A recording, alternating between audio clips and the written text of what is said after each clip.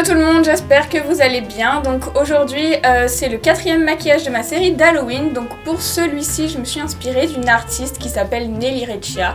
Donc vous avez le lien vers son Instagram en barre d'infos. Et euh, j'avais trouvé un de ses maquillages sur Pinterest et du coup voilà ça m'a donné l'idée de faire celui-ci. Donc si vous voulez voir comment j'ai fait, et eh ben c'est tout de suite. La première chose que je vais faire, ça va être de tracer euh, mon masque. Donc je vais utiliser un crayon beige. Donc le mien, il vient de chez Makeup Forever. On peut prendre n'importe lequel.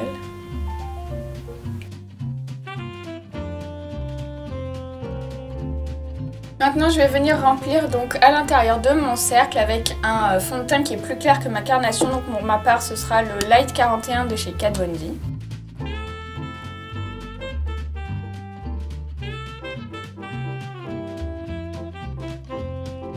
Je poudre tout pour fixer, donc avec une poudre blanche. Donc la mienne c'est celle de NYX, la SFX7, mais vous pouvez utiliser n'importe laquelle.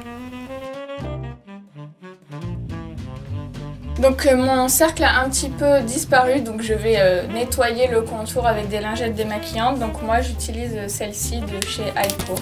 Je les aime bien parce qu'elles sont toutes petites.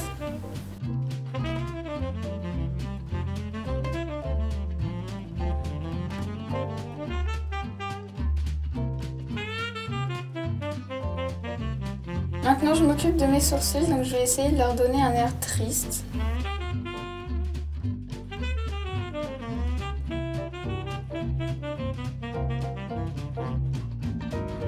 Maintenant je viens mettre du crayon blanc dans ma muqueuse. Et je commence aussi à tracer la forme de mes larmes.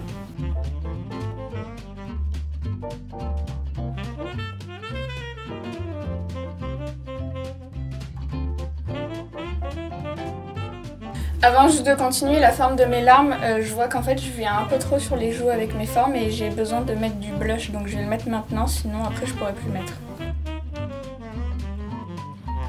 Donc je mets un rose pâle au niveau euh, vraiment des pommettes euh, et je le mets un petit peu de manière ronde.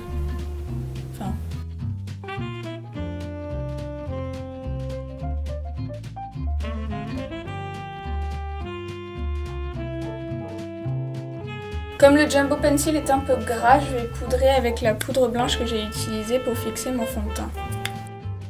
Je passe aux yeux, donc je fais ma base noire avec un crayon euh, noir, euh, donc assez gros.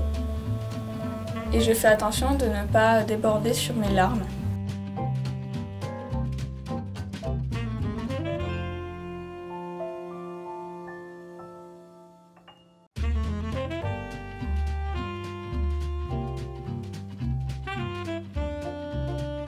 Pour ombrer, je vais utiliser la palette Ride and Die de Violet Voss.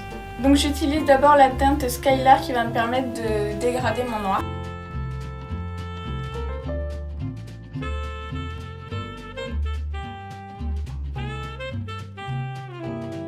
Et maintenant je vais appliquer Carly sur mon crayon noir.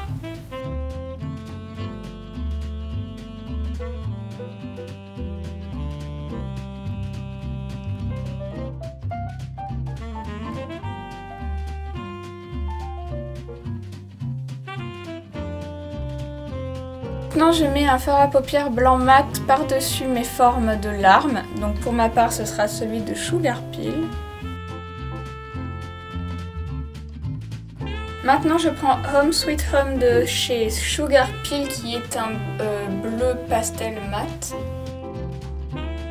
Et je viens ombrer à l'intérieur de mes larmes.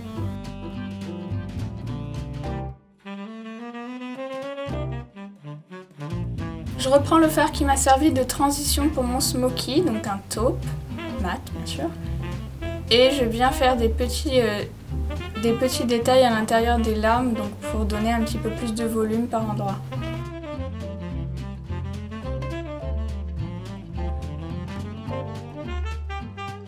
Et je m'en sers également pour faire des ombres au niveau euh, des larmes, donc à l'extérieur. Et je m'en sers également pour faire des ombres portées au niveau des larmes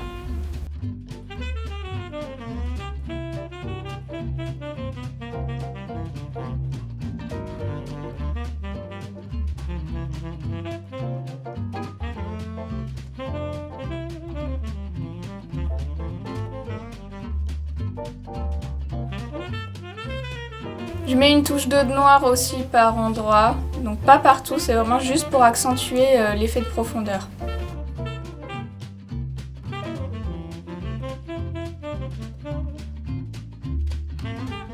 Prends maintenant un eyeliner liquide blanc, donc moi j'utilise le Pro Artist de LS Splash. Et là je viens faire des petits détails pour donner euh, un effet de brillance sur mes larmes.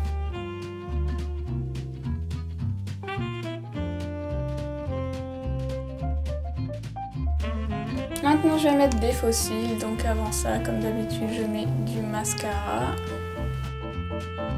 Pour mes cils j'ai choisi les Demure Light de House of Lashes. Donc j'ai mis de la colle noire de chez House of Lashes aussi et maintenant bien, je les colle comme d'habitude en partant du milieu et en collant ensuite le coin interne et le coin externe. Pour marquer un petit peu plus le, le, contour du masque, je vais utiliser de nouveau la couleur de transition de mon Smoky pour faire des petites ombres par endroits.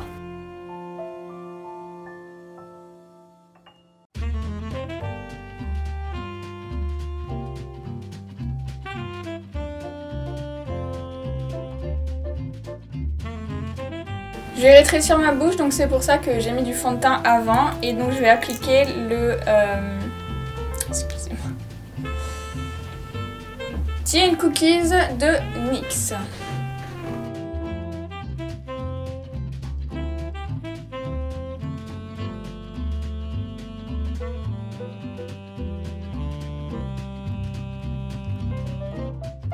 Pour mes cheveux, donc je me suis coiffée en faisant un chignon et je veux que mes cheveux soient noirs. Donc euh, je vais euh, utiliser le Color Cream de chez Makeup Forever euh, que je vais mélanger à de l'eau. Donc j'ai mis de, l'eau dans ce bol.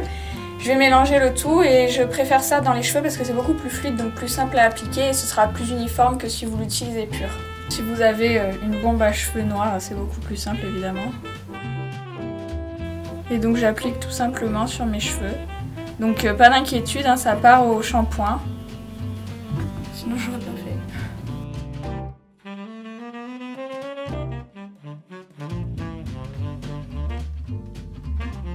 Ce maquillage est terminé, j'espère qu'il vous a plu. Donc euh, c'était vraiment euh, aussi pour euh, ceux qui n'ont pas de perruque, pas de lentilles et qui ont envie quand même d'avoir un, maquillage d'Halloween qui fasse pas trop trop peur. Donc voilà, si vous voulez le reproduire, n'hésitez pas et n'oubliez pas le hashtag Marion Caméléon sur les réseaux sociaux. A bientôt Thank you.